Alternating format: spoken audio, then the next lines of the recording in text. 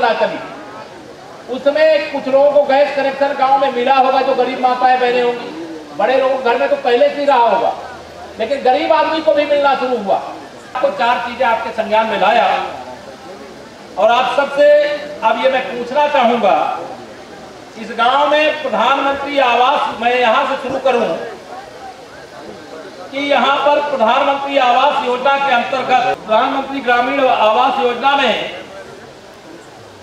पंद्रह लोगों को आवास यहाँ पर दिए गए जिन पंद्रह लोगों को दिए गए यहाँ पर हैं क्या कोई? आए?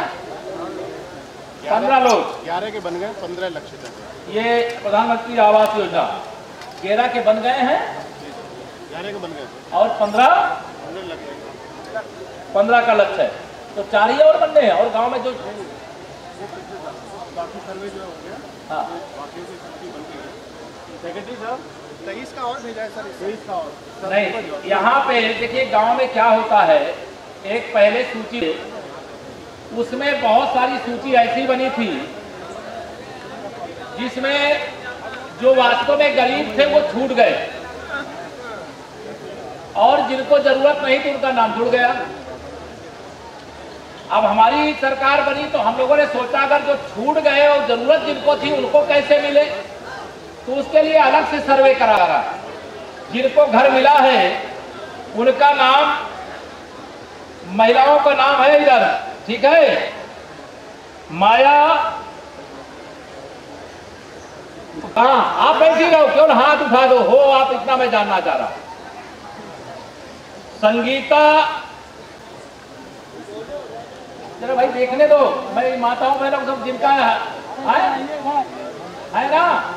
ठीक है ठीक है, बैठो बैठो। तीसरा सतीश कुमार, सीता का नाम श्यामू। है सतीश कुमार। राम सनेही जेठू। है राम सनेही जी?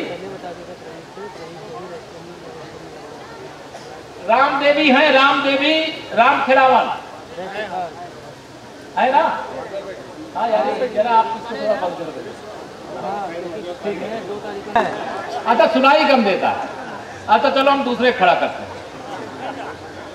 सुरेश दमी शांति सिद्धमी कौन है भाई खड़े हो जाओ भाई।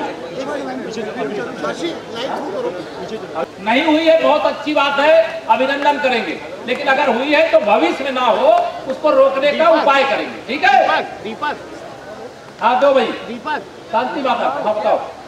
भाई, मेज पे हाँ, रख दो मेज पे मेज पे रख दो। सुनाई दे रहा है? माइक आओ। लो माइक पे बताओ इसको माइक अपने पास लगा लो। बोलिए। दस हज़ार। दस हज़ार। हाँ।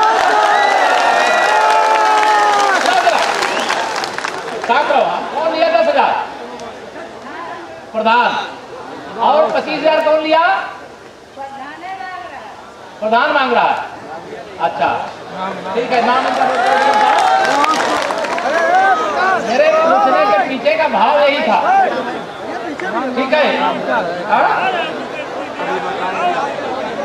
चलिए, अब मुझे एक सीमा। सीमा कौन है? शांति रखो जरा पूछे नहीं, सुनने पाओगे क्यों ताली बजाने से हल होगा क्या? अब भविष्य में एक बात ध्यान रखना। है? ये सीमा सलीम। सीमा कहाँ सीमा आई है। आए?